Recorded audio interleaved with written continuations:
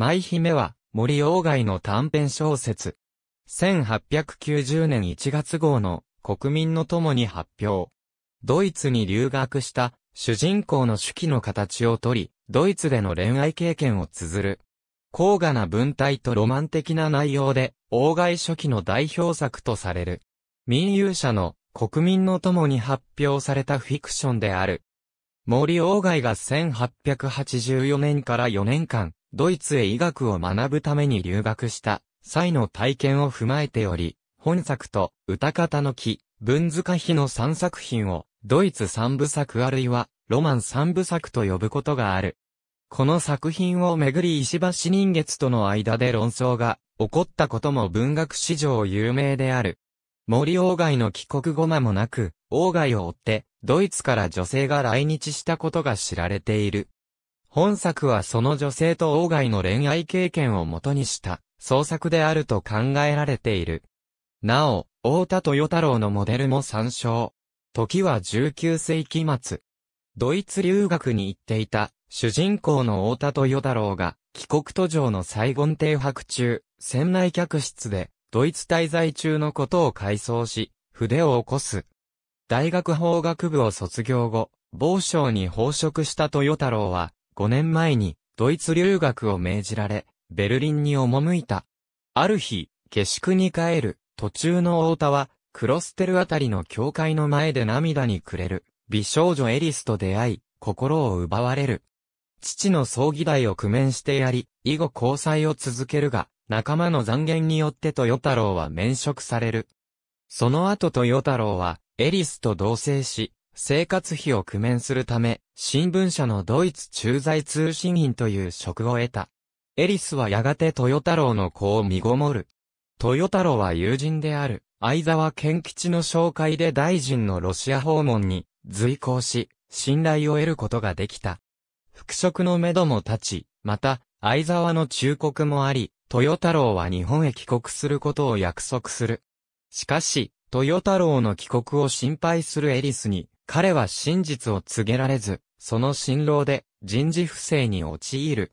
その間に、相沢から事態を知らされたエリスは、衝撃のあまり発狂し、パラノイアと診断された。治癒の望みがないと告げられたエリスに後ろ髪を引かれつつ、豊太郎は日本に帰国する。相沢健吉がごとき領有は、世にまた描たかるべし。されど我が脳裏に一点の彼を憎む心、今日までも残れりけり。1888年に、鴎外がドイツから帰国した後、ドイツ人女性が鴎外のすぐ後を追って来日して、滞在1月ほどで離日する出来事があった。彼女への説得を、鴎外の義弟、小金井義清と、鴎外の弟、森徳次郎が行っていた。このため、エリスのモデルが実在するとして、モデル探しが行われてきた。1981年に、中川浩一、沢護が、ジャパンウィークリーメールに記載されていた、船舶乗客リストから、ミス、エリーゼ・ヴィーゲルトが1888年9月12日に、横浜港に入港し、10月17日に出港した、ドイツ汽船ゲネラル・ヴェルダー号の一等船客であったことを発見した。その後、ゲネラル・ベルダー号が寄港した各地の新聞を調べると、ミス、エリーゼ・ビーゲルトの名は8回見つかった。その後も、ユダヤ人説や、アンナベルタル・イーゼ・ビーゲルトとする説などが唱えられたが、現在では、エリーゼ・マリー・カロリーネ・ビーゲルトとする六臭い地下の説で、ほぼ決着している。森鴎外記念会会長の山崎一英は、エリーゼ・マリー・カロリーネ・ビーゲルトが、エリスのモデルであるとする六臭い地下説を次のように評価している。1981年以来、30年を経て、間違いなくその人を特定できたことは、大きな発見である。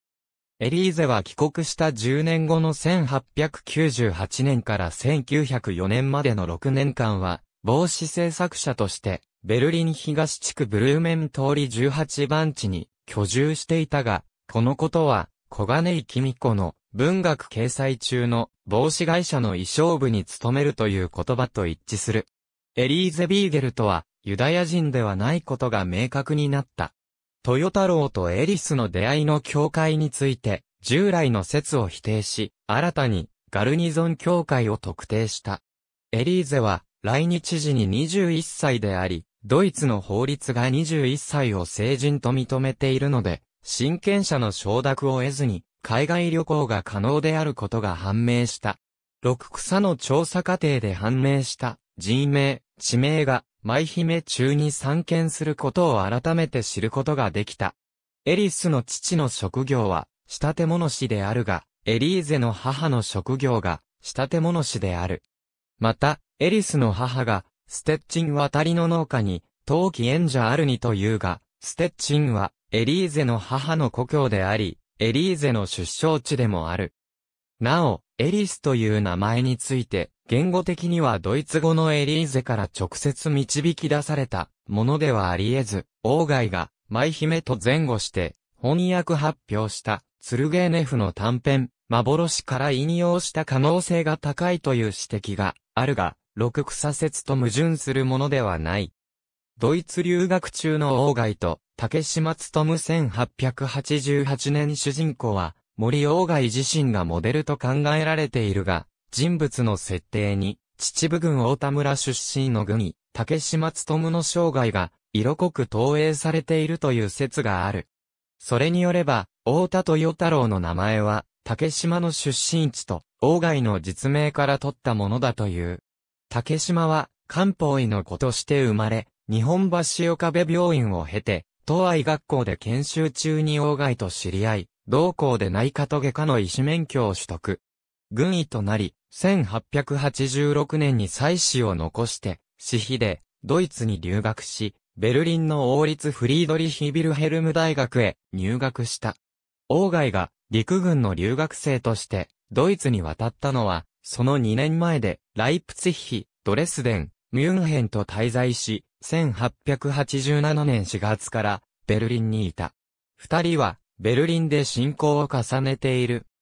その後、竹島の実家から送金を頼まれた義兄が学費を着服し、仕送りが途絶えてしまい、金に困る日本人が外国にいては、本国の恥とする駐在武官、福島康政から官費で帰国するか、面官されて、ドイツに残るかの選択を迫られた。竹島は、留学を続けることを選び、翌1887年面官処分を受け、軍籍を失った。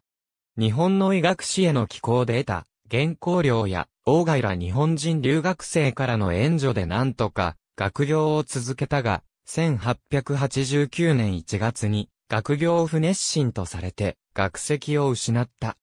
アジアの家具や茶葉を扱っていた、ドレスデンの商社 R ゼリックヒルに職を得たが、1890年、初頭に、肺結核にかかり、同年5月に27歳で、不遇の生涯を閉じた。帰国した王外が、舞姫を発表した4ヶ月後のことだった。大田豊太郎のモデルは、北尾二郎ではないかとする説もある。1890年、石橋人月と、王外との間に起こった文学論争。当時帝国大学法科大学在学中の人月は、気取り、半之丞の筆名で、舞姫という論考を発表し、主人公が石白弱であることなどを指摘し批判。これに対し四月王外は、しがらみ造詞に、相沢健吉を筆名に使い、気取り半之丞にあたうる書で応戦。その後も論争が行われたが、人月が筆を立って収束。最初の本格的な近代文学論争だと言われる。本作は、ファウスト第一部と関係づけて論じられることがある。森鴎外は1912年に、初の、ファウスト日本語訳を完成させている。ありがとうございます。